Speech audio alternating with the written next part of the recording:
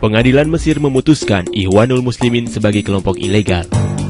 Selain dilarang melakukan kegiatan apa pun, pengadilan juga memerintahkan semua aset milik kelompok Islam terbesar di negeri piramida itu disita. Keputusan ini diketuk pada Senin 23 September 2013 atau sekitar dua bulan setelah penggulingan Presiden Muhammad Mursi yang berasal dari Ikhwanul Muslimin.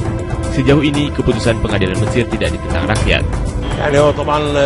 It is a correct decision, 100%. The group that sheds the blood of their fellow Egyptians or sheds the blood of anyone must be an illegitimate group and a terrorist group.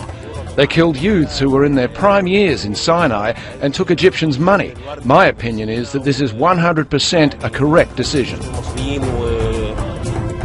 Sebelumnya, otoritas Mesir telah menangkap pemimpin tertinggi Ikhwanul Muslimin Muhammad Badi. Wajah politisi berusia 70 tahun ini dipamerkan ke publik pada Agustus lalu.